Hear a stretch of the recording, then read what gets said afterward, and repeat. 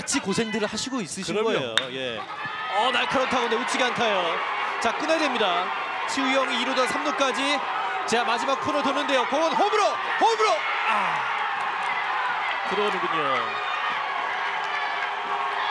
아, 대만의 그래서- 선취점.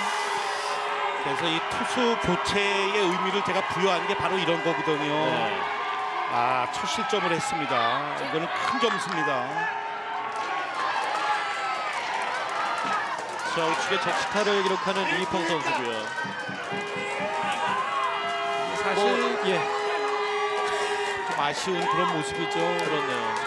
그러니까 이민호 감독도 한번 마운드를 방문했었고 한 번에 좀 교체 타이밍이 뭐 결과론적으로 좀 늦긴 했었지만 그렇죠. 한번 더 기다려 봤었는데요.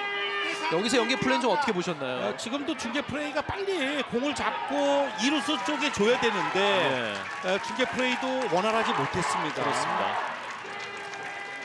아 지슌빙 대만 감독 어, 이첫 기회를 바로 득점으로 연결을 시켰습니다. 대한민국 입장에서 더욱 더 뼈 아프죠. 그렇습니다. 자 6번의 예상대로 어, 양수호 선수가 이제 두 번째 투수 카드로 올라와 있습니다. 팀내 가장 빠른 볼을 던지는 어, 양수호 선수가 되겠습니다.